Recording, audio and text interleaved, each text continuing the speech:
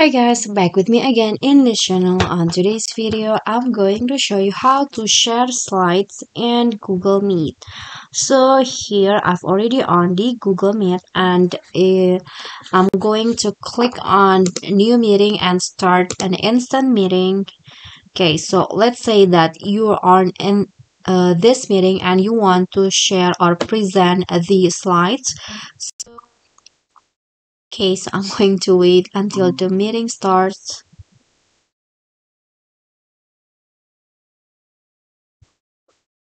Okay, now let's say that you want to share the slide. So what you need to do is you need to click on the this uh icons right here the present now option just click on now and you can choose whether you want to uh, share the entire screen a window or a tab. So i'm going to just click on a window and here you need to click on the application that you want to share the content of your screen to the audience of the meetings. For example i want to share this ones right here and click on share.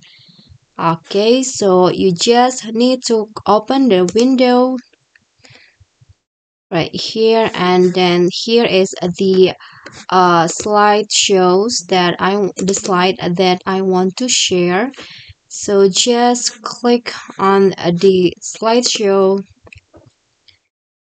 And now you uh, I am sharing this slide to my audience. So you can just uh, start presenting and and when you're finished you can just click on the stop sharing option and go back to uh, the meeting.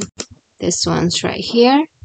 Okay so i think that's all. That is how you can share slides in google meet okay so that's all from me. If you got any question feel free to drop it in a comment. And if you feel the video is helpful please don't forget to click like and subscribe for more contents. I'll catch you all in the next videos thank you guys